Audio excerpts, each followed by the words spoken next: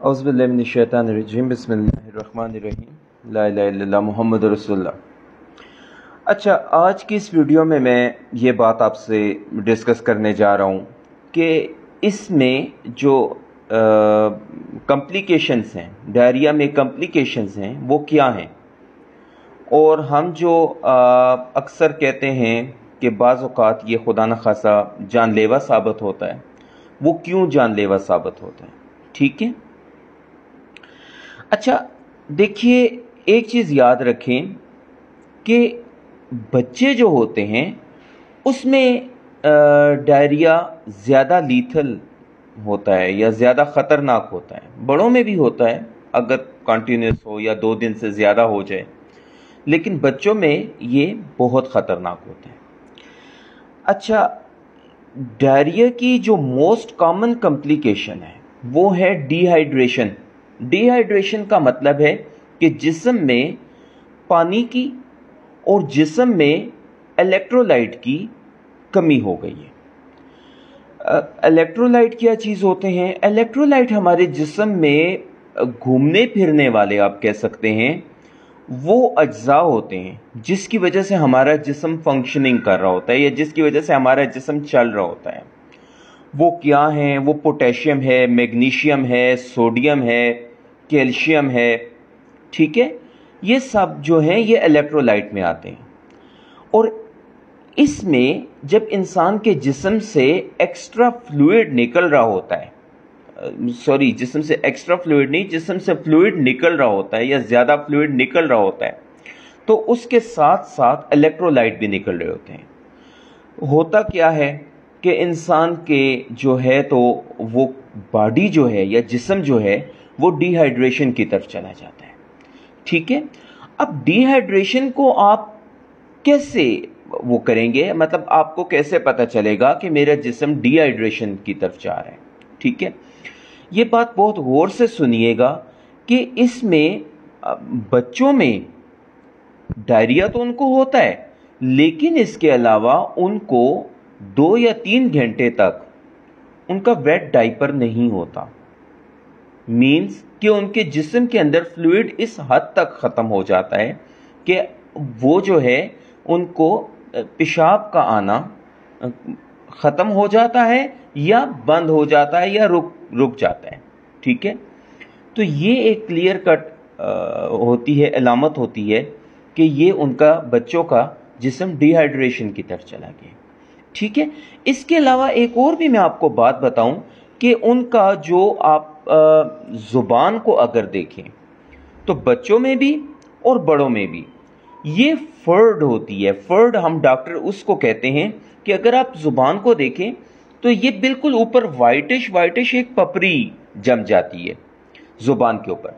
तो ये एक इंडिकेशन होती है कि इंसान का जिसम ये डिहाइड्रेशन की तरफ़ चला गया है।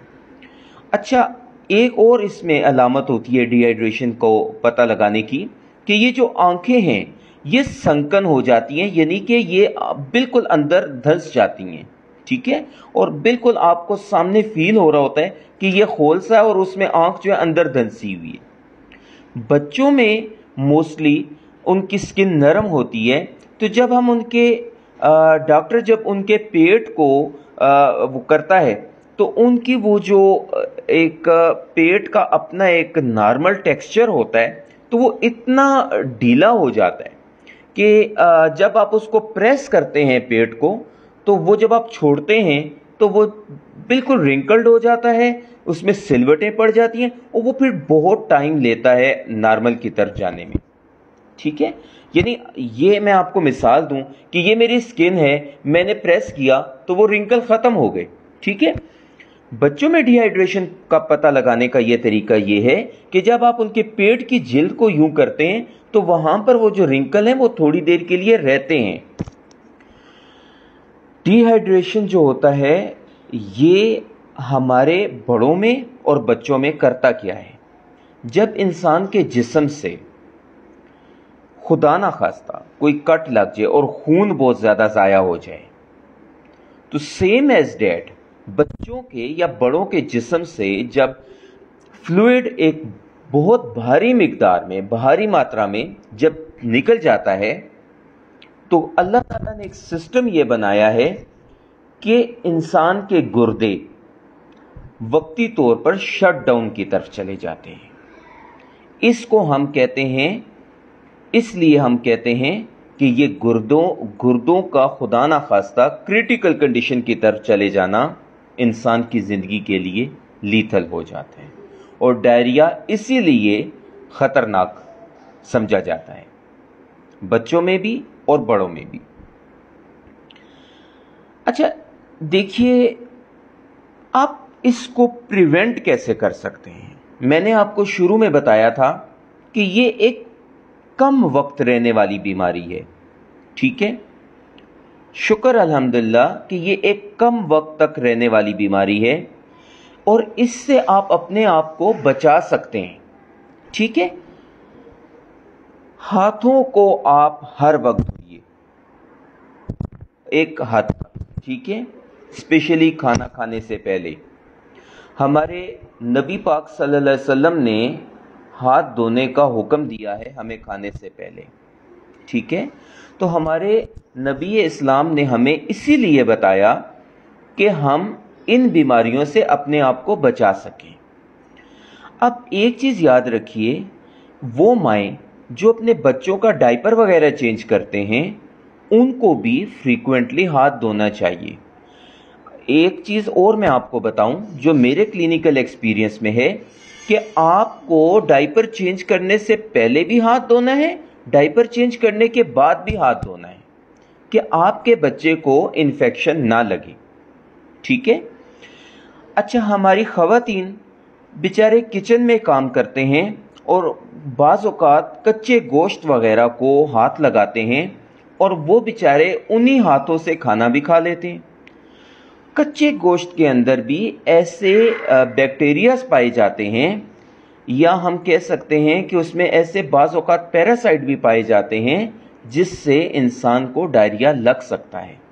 ठीक है? हैंड सैनिटाइज़र हम डॉक्टर्स को इस्तेमाल करना चाहिए। बाज़ात और ये सिर्फ़ डॉक्टर्स के लिए मैं बात नहीं कर रहा, तमाम लोगों को इस्तेमाल करना चाहिए। बाज़ अवत हम ऐसी कंडीशन में होते हैं जहाँ पर हम हाथ नहीं धो सकते। तो हाथ जब हम नहीं धो सकते तो हैंड सैनिटाइज़र का इस्तेमाल करने से भी हम डायरिया और इस तरह की बीमारियों से अपने आप को बचा सकते हैं। ठीक है? और जब भी हाथ धोएँ तो एक चीज़ याद रखिए, हम लोग इतने अपनी ज़िंदगियों में इतने ज़्यादा हम मतलब सॉरी लापरवाह एटीट्यूड रखते हैं कि हमने साबन को मला और हाथ धोए और चले गए। नहीं। साबन की झाग को आपने 20 सेकंड तक अपने हाथों पर लगाना है। उसके बाद आपने अपनी फिंगर्स के अंदर साबन को लगाना है। ठीक है? फिर उसके बाद आपने बैक साइड पर और यूँ आपने अपनी रिस्ट को। ये साबन से प्रॉपर धोना है और फिर इसके ऊपर प्रॉपर पानी गुजरे ताकि साबन की जाग भी ऊपर से हट जाए। डॉक्टर्स, एक बात करते हैं always watch what you eat अपने आप को देखिए कि आप क्या खा रहे हैं। And always watch what you drink और हमेशा देखिए कि आप क्या पी रहे हैं। ये दो चीज़ें watch what you drink and watch what you eat इससे आप अपने आप को डायरिया की बीमारी से बचा सकते हैं। ठीक है? ये मेरी वीडियो जो थी ये आ, इससे रिलेटेड थी कि इसकी कॉम्प्लिकेशंस क्या हैं। और इसके बाद मैं आपको डायरिया को कवर अप करूँगा अपनी एक थर्ड वीडियो में, और उसमें मैं आपको बताऊँगा कि हम लेबॉर्ट्री इन्वेस्टिगेशंस कौन सी कर सकते हैं और हमें ट्रीटमेंट कौन सा करना है।